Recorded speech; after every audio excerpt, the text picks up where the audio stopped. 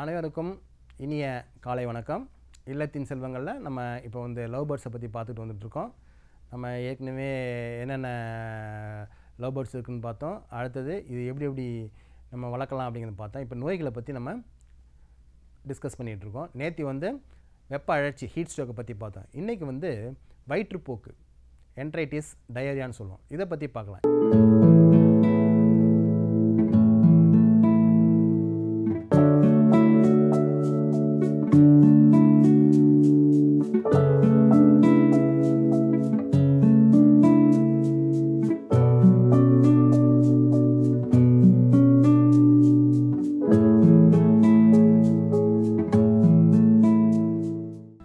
Love பேர்ட்ஸ்க்கு நம்ம வந்து தீனி வைக்கணும்னு சொல்கிறோம் இல்லையா? காலையில் வைப்போம். காலையில் வச்ச உடனே பழம் அடுத்தது வந்து இந்த கோதுமை பயிர் பயிறு பச்சை பயிறு எல்லாம் வச்சோம்னா அது சாப்பிட்டுட்டே இருக்கும்.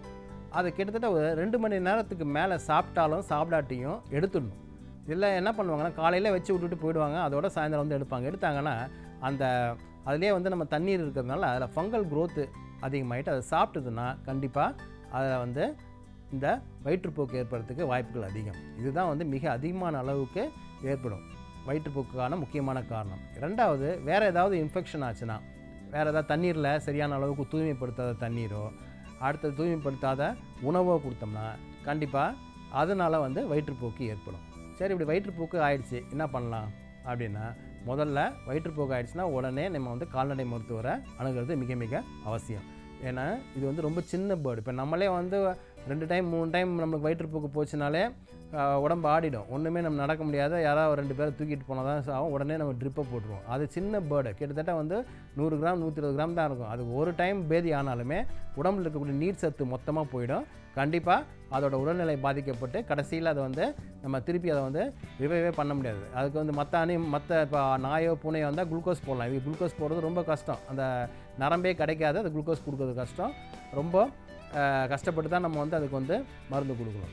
அதனால் வந்து அதை வராமல் தடுக்கிறது தான் ரொம்ப நல்லது. வருமுன் காப்போம்ங்காமல் வராமல் தடுக்கிறது தான் ரொம்ப ரொம்ப நல்லது. அதுக்கு அடுத்தது இந்த வயிற்றுப்போக்கு இது மாதிரி வந்துச்சுன்னா என்ன பண்ணுறது அப்படின்னா அதுக்கு அந்த தண்ணீரில் வந்து அதுக்கு தேவையான அந்த ஆன்டிபயோட்டிக் டாக்டர் கன்சல்ட் பண்ணி என்ன கொடுக்கணும்னு சொல்லுவாங்க. அந்த ஆன்டிபயோட்டிக்கை மிக்ஸ் பண்ணி வைக்கலாம்.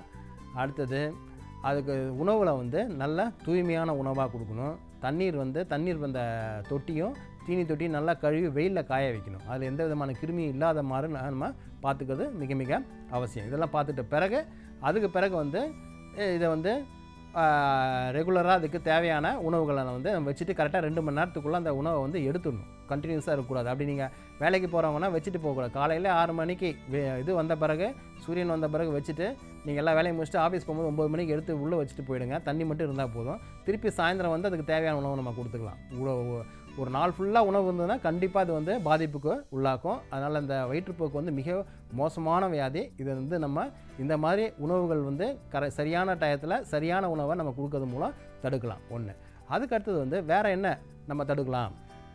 அப்படின்னா ரெகுலராகவே இதுக்கு வந்து நம்ம வந்து வாரத்துக்கு ஒரு முறை வேப்ப இலை இதை வந்து சாப்பாட்டுலேயே மிக்ஸ் பண்ணி போடலாம். அது இந்த மாதிரி கொழுந்து கொழுந்தான வேப்ப இலையை கொடுத்தோம்னா கண்டிப்பாக நல்லா சாப்பிடும். இது மாதிரி இருந்ததுன்னா ஏன் வேப்ப இலை கொடுக்குறோம் அப்படின்னா சில சமயங்களில் அந்த குடற்புழு நீக்கம் இருந்து குடற்புழுகள் இருந்ததுன்னா இந்த வயிற்றுப்போக்கு ஏற்படும். நம்ம நம்மளுக்கெல்லாம் வருதுல்ல வயிற்றுல பூச்சி. அதே மாதிரி இதுக்கும் வந்ததுன்னா கண்டிப்பாகும் அதனால் குடற்புழு நீக்கத்துக்காக வார மாதத்துக்கு ஒரு முறை இந்த வேப்பம் கொழுந்தோ வேப்பம் இலையை கொடுக்கறது மூலம் ஓரளவுக்கு இந்த வயிற்றுப்போக்கை வராமல் நம்ம தடுக்கலாம். அடுத்த வியாதியை பற்றி நாளைக்கு பார்ப்போம்.